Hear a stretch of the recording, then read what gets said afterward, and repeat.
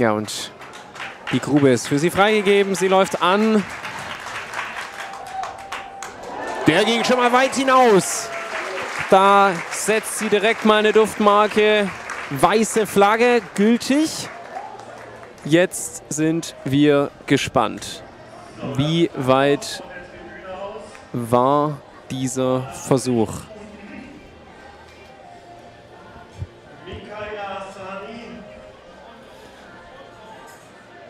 Ja, und da sehen wir auch noch mal den Balken.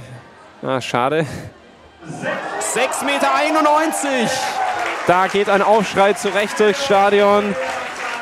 Da sind wir auf jeden Fall bei einer neuen persönlichen Bestleistung sowie der WM-Qualifikation für Budapest und das im aller, allerersten Versuch. Das ist doch mal ein Auftakt hier in Weinheim. Was ein Sprung. Sehr, sehr, sehr schön. Da haben wir ihn nochmal in der Studie. Danke an die Regie. Also trifft das, das Brett gut und dann war der sehr, sehr weit.